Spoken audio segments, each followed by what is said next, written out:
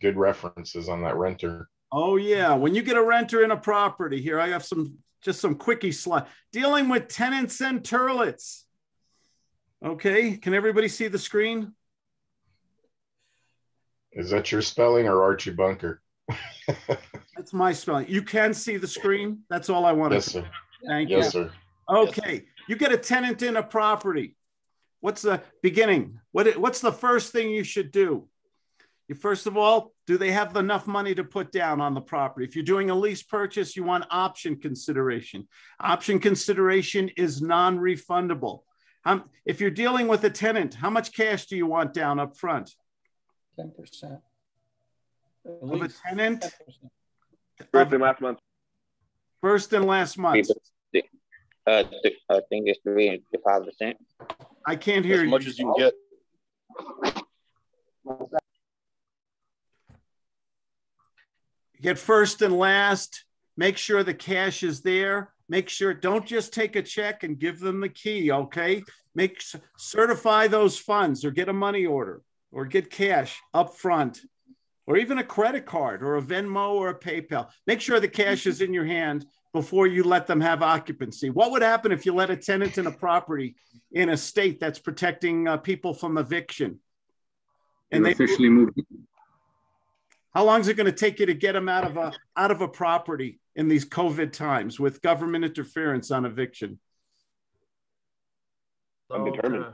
Six months to a year. It could it could take there's some there could be some you're right, Jose. Could be some horror stories out there. Absolutely. So uh, make sure you get your cash. How about employment? Number two. There. Should we, should we confirm employment? How are they going to pay? How are they supposed to pay for the rent that you're receiving every month? Do you check? How do you confirm employment? Hey, Claude, couldn't you just put it through one of those uh, programs that where they would pay the fee to do the background check, check employment, all that good stuff? It seems like it's a very low fee that if they're really interested in wanting to, to, to get in with you to do business, they would you would get that information in that report to be able to back it up. What is the quality of the information from the person who's getting $13 an hour to, to check that information? Probably not very reliable. How important is you're you you're a starting investor, you only have one or two rentals. How Mhm. important is it for you to know to a substantial certainty that that I'm not saying you're wrong, Jose. Uh, and if you told me you have 25 apartments or something like that, absolutely, you got to delegate. But you're a small Right. big, you're a small guy with one or two. You're a small guy with one or two properties. What do you think you better do? You pick up the phone and you call the people. Call the me- references. How do you know he's his Sure. best? Call me up. How do you know he's not his best friend? Go ahead. Right. Hello. Um, um, um, this is John Smith. Yeah, I, I would, uh, yeah, uh, hey, I'm calling to find out about Mr. Block here. Uh, how long has he lived there before in the past? He indicated that he worked, he lived there two month, uh, two months. How, how was he? Wow, you're talking. Wow, you're talking really fast with a lot. Who's Mr. Block? What are you talking about? Okay, he's a tenant that I'm about to put into my property and I want to verify. What's his what first kind name? of history, What's his first name? Jim. Ken. Oh yeah. Oh Ken. Oh yeah. Yeah. Um. Yeah. Yeah. Oh yeah. Ken. Uh. Uh. Let me get my notes here. Um. Yeah. Ken. Uh, uh, Ken. Did Ken works. rent on time? We were talking at the same time. Ken. Uh, Ken works here. Oh, he works here. So I'm, I'm just trying to find out if he paid the rent on time. Oh, okay. I thought we were we were talking about employment, Jose. You moved the goalposts here on me. Oh, I see. Okay. Well, we'll switch to okay. We'll switch to former tenant. Okay. Yeah. Same thing. Um. Uh. Yeah. Um. He always pay. Um. He always paid on time. Sure. Okay. Can you send me some information that shows on paperwork, uh, his, his receipts, his payment receipts and so Um, forth? I'll do, so I'll do my best. Hey, I'll do my best. Hey, look, I got to pick up the kids from. Uh, uh, I got to pick up the kids here from uh, the the Chuck E. Cheese Pizza Palace. See you later. Bye bye. Okay. What what's going through your mind right now? Whether it's an employment or it's an old landlord. That I can't validate it. What, what do you think really? Slim Shady. Called the That they're in cahoots and providing references are, are, are not valid. Okay, how many people do you think get their best friend to take the phone call for them? Yeah. Right. Okay, be very, very, what is a business? Businesses sound like businesses, don't they usually? Right. Okay, you might want to ask some questions. How long was he in there? Did they always pay on time? Do your own, do your own due diligence on this sort of stuff. Make sure you're getting a good tenant. How about seasoning? How long has that? If you're checking employment, okay, somebody do an employer. Horace, help me out here. Do it. You're checking the employment on Joe Blow before you put him into your valuable home. Hi, uh, is this um, Bill and Co? Um, yes, this, yes. Yes, uh, I'm trying to get uh, some fee- some uh, information on one of your uh, employees by the name of John Smith. Oh, yeah, John Smith. Well, we're not allowed to uh, release that kind of information. Um, you'll have to send a letter to our attorney. I, I don't need any detailed information. I just need to know um, by chance if the person worked there and how, how long have they have they been working there? Um, yeah, well, he was, he's been with us a while. He was with us a while, but, uh, um, I, And uh, I think he left, I think he left, uh, oh, wait, let me check my files. Yes, he left, uh, he left us six months ago. oh, I could appreciate that. Um, that's that's the type of information I need. I appreciate you taking time out of your day to give me this information. Take care. Okay, so if you see a guy with an application and he's changed jobs like you change your socks, what does that tell you about the chances of not getting paid on time? Very high. Very, very high. Hey, And Clark, uh, can you, can you take a step back on the, the guy who's the buddy with the shady, the, you know, script ready to, you know, give the answers? And, um, you need to dig further on, on that to determine that this guy's, uh, not, not creditable. Can you go back a little bit on that? Go by your common sense. If you if you're talking with somebody, uh, and they're uh, looking, you're hearing paper shuffled, or they're not speaking fluidly. Uh, uh, oh yeah, yeah, yeah. He told me somebody might call. Uh, uh, yeah, yeah. He was. Uh, he's still working with us. Uh, he's a great guy. Uh, listen, I gotta go. What does that tell you? Okay, so now you're gonna go back to the potential renter or buyer Exactly. Should you you're gonna, you're gonna handle that in, in what way? can you get can you Google his company? Okay. Okay, make sure. Hey, uh, Dave Skulnick, you you told me you were employed with um, uh, Blockbuster Video. Uh, they closed two years ago, three years ago. I'm still sweeping in the back room. Oh, okay. Well, uh, you know, um, how are you going to pay? Um, I mean, this is fifteen hundred dollars a month rent. How are you going to pay this rent? Well, I, I just got a new job at the video store down, down the street. Oh, okay. Another video store. You're you're really on top of the times, aren't you, sir? okay. Comment. watch his red red box. Yeah. Here's the thing that should be in my outline here common sense. Use common sense in this. Got it. The worst thing you Got could is put a tenant into the property, is, put somebody in the property and then have to deal with chasing them for rent. What's something else you can do? If they, if maybe they're working, maybe they just started a new a job, can you get a co-signer? Uh, for them on the contract. Can you get somebody else to vouch for them and check that person out?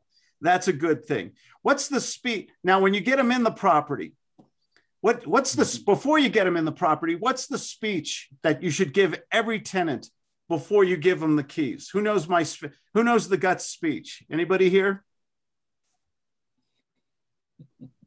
Come on, one of my mentees. Go ahead. Who's got it? From day one, uh, you get a warning.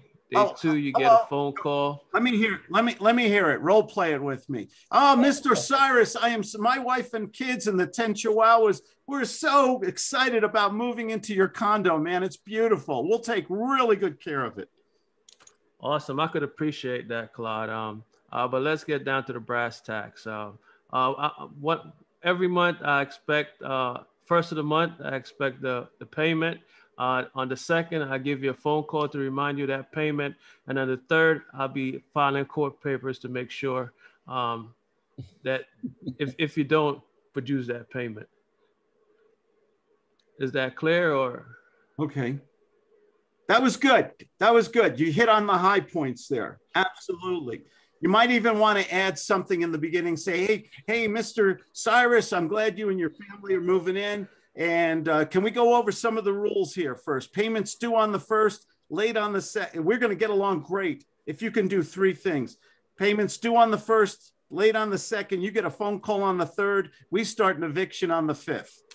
Okay, you're responsible for minor maintenance, mow the lawn, take out the garbage, uh, keep the place looking nice. Uh, can can you abide by that, sir? Yes. Okay, and uh, if something goes wrong, please take me seriously. Uh, we will start an eviction immediately. Boom. You know, is this That needs to be, that needs to be on an index card on everybody's Yeah. desk.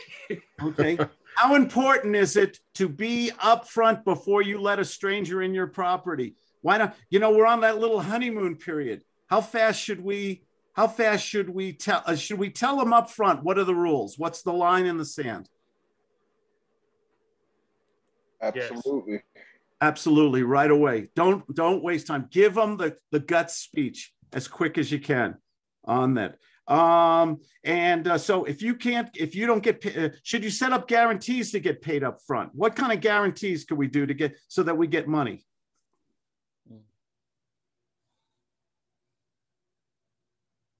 Come on, audience participation. What guarantee? If you pay on time, we could probably, if it's uh, dealing with uh, rent to own, pay on time. At the end of the time before we close this, we could work on credit, rent credit. No, that's not what I'm talking about. How do you get First and last month's rent and security deposit. Right. How do you get paid on time? Can you get a credit card up front? Can you get credit cards and run them through? Can you use a pay? Can you send them a pay automatic? I use PayPal. Can you send an automatic invoice every month through PayPal or Venmo or something like that? What's the most important thing in business? If you're dealing with tenants, toilets, real estate, rent to own, lease purchase, what's the most important thing? Collect, Documentation. Patrick, you did that too fast. I'm sorry. getting paid. getting paid, getting paid and getting paid timely. So take care of that up front. Okay. Ab- absolutely. Just send Um, reminders also, what's that? like ahead of time. Send reminders also ahead of time. Oh, I love that. That's a great idea. You can, You if can you set them have, up with the bank. go ahead. You can set them up with the bank with an automatic withdrawal monthly directly from their paycheck to the to our bank. Great idea. Absolutely. Um, What anything, company you use, Claude, to actually set up the automatic payment? I can't hear you, Jimmy. Say that again. What company? What company you use to set up the automatic payment? I use PayPal. It works great. If I have something that's due April 1st, they're going to get a reminder March 25th that the rent is due. The credit card will be run. And through PayPal, they can either do a bank transfer, uh, they can put in their credit card, um, they can do several different things to make the, tra- the um, automatic transfer of money. Okay. Yep. Um, that's the bottom line is take care of all this stuff up front uh, in there. If you get a tenant, worst thing in the world, you get a bad tenant. This is real negative for a Monday, isn't it? You get a bad tenant in a property.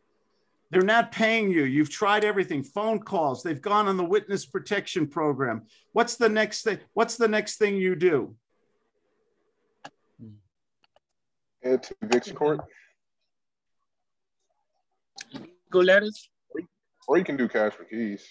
Go knock on the door. Who said cash for keys? Oh, okay. Knock on the door. Very good. How about send a legal letter right away?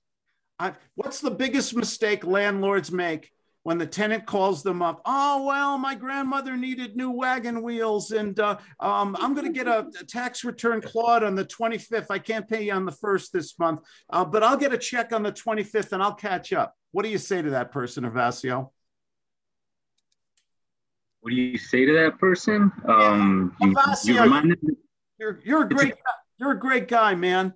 Um, uh, but you know, but we're just having some. Uh, uh, my cat needs surgery. Okay, He's, um, so uh, we'll I'll have the rest of the money on the 25th instead of the first. You're a great guy. I know you understand. Sorry, Claude, I don't understand. We had these agreements early on, you know, uh, and I and and you, up until now you've been, you know, you've been ethical, you've been on time, and I would assume that you can continue on if you really wanted. Am I am I wrong about that? Well, it's nothing I can do. I, this cat needs surgery. Okay. Uh, uh, he, where he want uh, uh, the cat. Uh, uh, my wife decided we're going to change the cat from a male to a female, uh, just to be trendy. You, you make, it- an official warning? Is that, would that be your official warning then? And anytime after that, then you have to take action? When should you take action, Herva? When should you take action? How soon? Immediately. Would Immediately. First thing you do is draft a letter. Draft a, s- either send them a letter, a notice of intent to file an eviction, okay, depending on your state. Get them to it. Then file the eviction. Don't waste time. Go to your small claim online. You can go to small claims. It doesn't cost a lot of money. Some states are up to ten, twelve thousand dollars uh, limit. So if they um, usually that'll cover most rents and file that right away and send them a copy. First couple days, first week. Is am I a tough guy? Am I being unreasonable? No. What what happens when you're a nice guy or girl in real estate and and You're you walked all over. The rent gets paid after the cat surgery. Yeah. If you're, if you're lucky. Yeah, absolutely. So make sure you do your paperwork early. Notice of intent to file. File the civil. It cost. It'll cost you twenty five bucks, fifty bucks, depends on your jurisdiction. Okay, file that small claims real quick. Okay, so you get say you get hold of the tenant, and um, they're not gonna and they're not gonna move out, and they're locked in, and you know this in your state, it's gonna take two, three, four months before you get them out. They're going to make you go through the whole eviction. What do you do? What's the what's the uh, what's the guts move here? For them cash for keys at that point? Cash for keys. Who said that? Hervasio? What's ca- cash for keys? Go ahead, make me. I'm the bad tenant. I've been uh, I've been in it one one month. It's the end of the month. I'm not going to move out. I'm going to drag this out for as long as the uh, uh, great Soviet socialist state of, Cal- of Southern California allow me to stay here. Claude, um, you know, unfortunately, you're, you're forcing me to take uh, to, to take proper steps in this case. You know, I the next step would be for me to file an eviction. It's going to show up on your credits. I don't you to- care. I don't care. I don't care. I'm going to stay in here. You didn't fix the refrigerator light bulb, and that gives me good reason to stay here. And I can stay here for months. I already talked to my attorney and state, and they in this and in this particular state, there's no evictions right now. So tough. So tough to you. I don't care. You you may be right about that, Claude, and, and I'm sure you have all right to feel that way. I apologize for the light in the refrigerator. You know, um, Claude, do you think that we could come to some sort of resolution? Um, moving out of my place is what I'm, you know, for you to move out of my place is what I'm looking for, and I'm sure you're going to be needing some funds to get into a new location. Is there any way I can help you with that? Maybe we can come to an agreement here. I don't want to have bad, bad blood with you. I don't want your future landlords calling me and me having to tell them about, you know, our experience. Does this make sense? Can I can I help you some sort of way? Could we come to some agreement? What are you talking about here? You you want to give me some money? Um, well, I mean, since you bring that up, Claude, do you do you think suppose I did give you some money, would you be able to get out in a timely fashion, leave a place in livable condition the way you found it? Don't worry about the light in the refrigerator. I will take care of that. Well, how much? How much? How much here? You're just a rich. how much? I want to. Uh, you. So you're saying uh, if I'm, I, I'm not sure if I understand. You're going to give me money if I move out of this property? Um, I, I can agree to that. If you if you can meet me somewhere in the middle, we can agree to something. I'm I'm I'm open to that suggestion, Claude. Good suggestion. I'm open to it. Yes. Okay, someone take over. Someone take over for Havasio here. Someone keep negotiating. Who's gonna? Somebody new. There. Somebody new. Who? Where's my new? Where's my new guys here?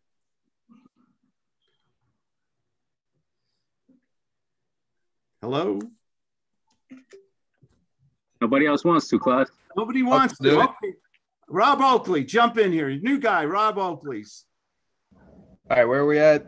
Negotiating. Gotta pay Look, attention. bud. Okay, you need to All kick, right. you need to get me out of the property, Rob. Okay. What seems reasonable to you? Um, I don't know. Um, I don't know. I want to uh, ten thousand dollars.